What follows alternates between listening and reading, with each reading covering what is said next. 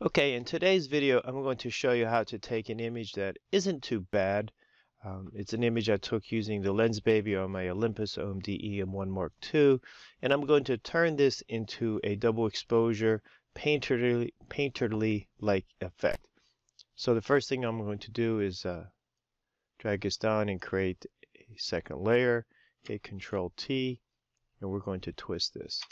I'm going to add a mask, hit the B key, Make sure that I'm at 100% in opacity. Take out some of this hard. Oh, this is at white. I need to make sure it's at black. It will take that out. And as you're going through here, you'll notice that we're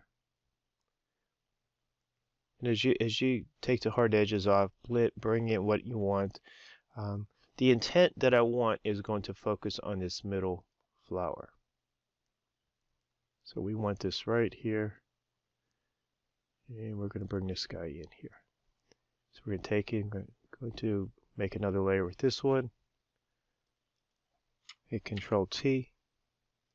Hit Control T. We're going to twist this, enter, hit another mask, to B. And just blend in what how you want the edges to look like. Um, my intent is to have a very soft out side edge. That would be the vignette um, of this. So you'll see that rather than having either dark or light, you could have the colors and like a flowery, flowery like look. And we're going to bring in one more layer. We'll do this one more time. And we're going to drop this guy way down a mask.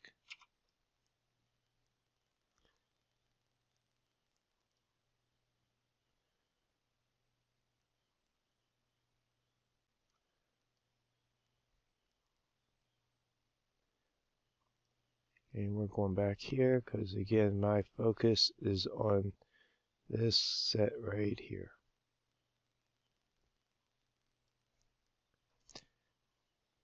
And let's just look, say you don't like the way that was looking, you can start to bring in anything that you want. Again, this is your image. So this isn't bad. Um, I'm going to now flatten this. And I always make an extra layer when I go in and use a filter. So this time I'm going to use a filter Topaz Labs. I'm going to use Clarity.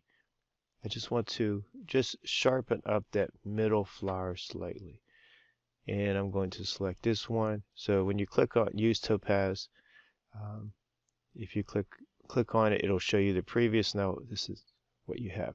Now this is way too much out here, and so I will show you what I do. Yes, you could go in and use mask and change opacity within uh, Topaz itself. Um, I am going to take it back into Photoshop. I'm just a little more comfortable with that. I'm going to add a mask. And so you could do one of two things. Okay, so you could take this, double click this, take the original layer, bring it over, throw a mask on, click on that, and then again, this middle set here is what I want. And then the rest is nice and blurred out. Okay, so that's that's not bad. It's pretty much what I would like it to be. I'm going to flatten this again.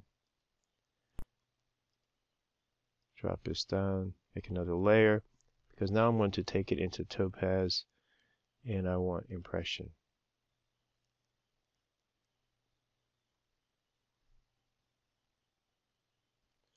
So this is what it automatically did. There are many, many different options that you can have on this. So let's just say, for example, uh, you, this is one of my the favorites that I have set up in there. You could go in and select that. Um,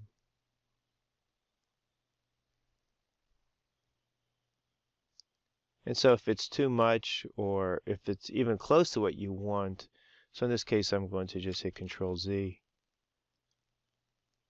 because it is slightly more than what I wanted it to be and I'm going to take this back into Photoshop.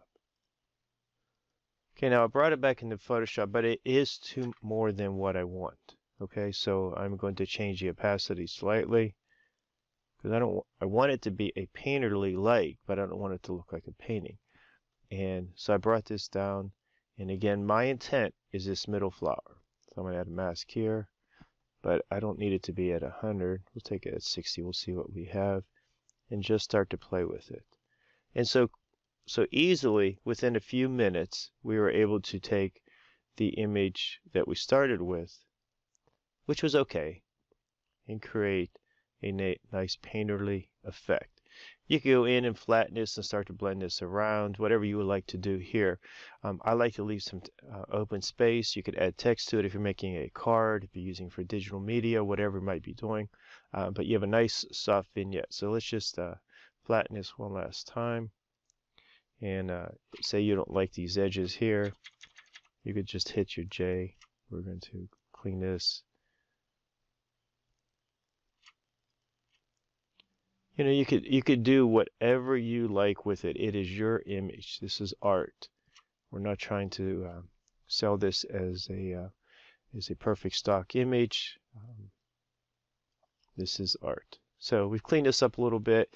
Uh, if I want to get rid of this dark which uh, which I definitely would uh, I'm going to clone this over. I'm going to take this piece here.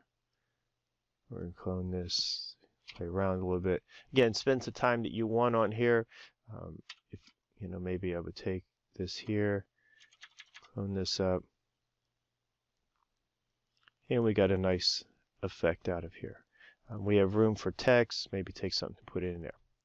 Okay, so I hope you enjoyed this. It's a quick uh, a tip on how to make a double exposure like image, turning into a painterly effect. Um, from an image that isn't bad, but it wasn't great. It was nothing um, that I would really want to post or use for one of my cards. And so I hope you enjoyed this. Stop back for more tips and tricks. Subscribe below. Appreciate it. Thanks. Bye now.